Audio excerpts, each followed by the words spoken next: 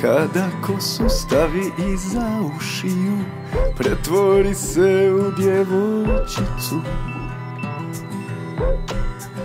Svoje tajne poklanja Zamuckuje Nekako izroni iz očiju.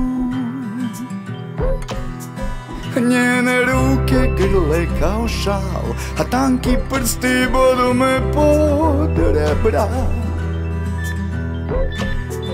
Sporo rasti mala vrbo, dug je put A ovaj svijet te čeka.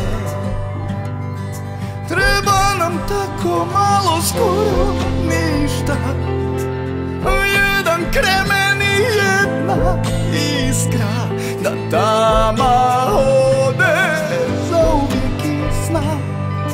A čudovišta padaju Iskrenost je rizikna Vlastiti račun. Ti ćeš čitav život plaćati I nikad nećeš shvatiti Od koga te čuvaju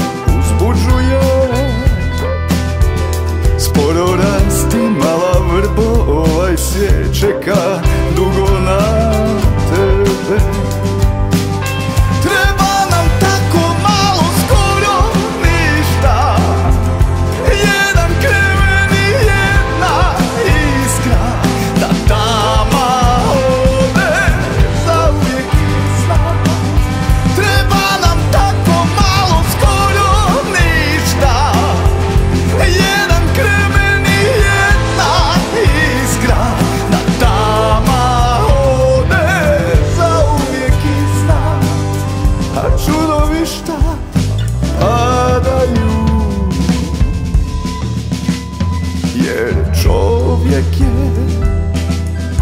velik točno toliko.